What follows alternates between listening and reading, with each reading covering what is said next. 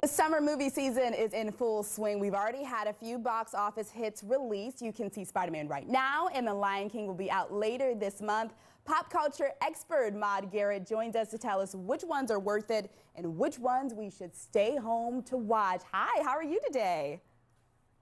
Hi, so great. I love talking movies, and this summer is bringing the blockbusters for sure. You just mentioned Spider Man Far From Home. That's already gotten over $600 million internationally at the box office. So if you haven't seen that one yet, definitely do, especially because Marvel love to drop some post credit scenes, and these ones will blow your mind. Uh, you mentioned Lion King coming out. That one will be out July 18. I'm seeing it this week at the world premiere, which I'm so excited about. Jon Favreau's directing this this one. Uh, we already saw what he can do with the Jungle Book, so you know this movie is going to be in safe hands. And we get some Beyonce. She's going to be voicing Nala. And let's just say, yes, I can feel the love tonight with her singing to me. I really can. I can feel it too. I am so pumped about that. It's going to be fantastic. But there's so many good movies that we can see in the comfort of our own home, right?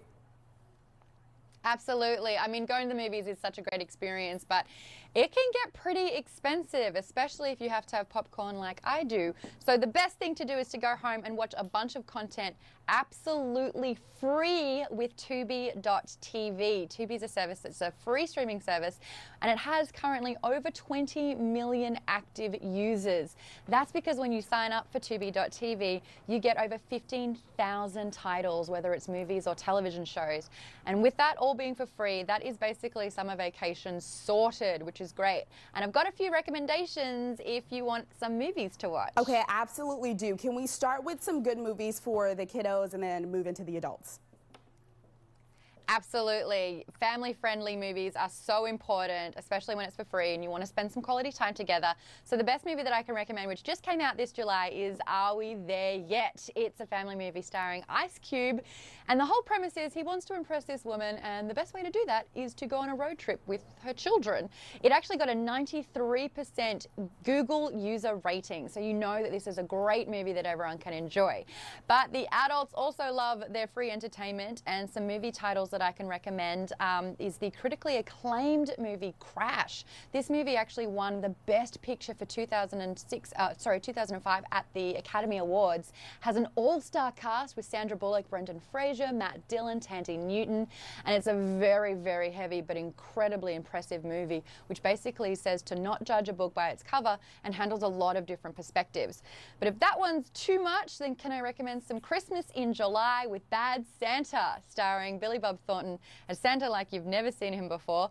This is not one for the kids at all, but this is absolutely hilarious to watch. That one got 98% on Rotten Tomatoes too. Uh, and my personal favorite is a movie called Stop Loss. It came out in 2008. It stars Ryan Phillippe and Abbie Cornish. This movie flew under the radar, but it's a really impressive look at what relationships um, can do once someone's gone off to war. Ah. So yeah, it's a really good flick. Okay, you've been talking. I've been writing everything down. I got my list ready to go for my Friday night movie night. Where can our viewers go to start enjoying this free streaming service? All you have to do is jump onto tubi.tv. Signing up takes less than 15 seconds. There's absolutely no strings attached with it, and you can watch it on a number of different devices, whether you watch television through a Roku, your gaming console, on your mobile or tablet. Away you go. Awesome. Maude, we really appreciate it. Thanks so much for joining us. We'll be right back.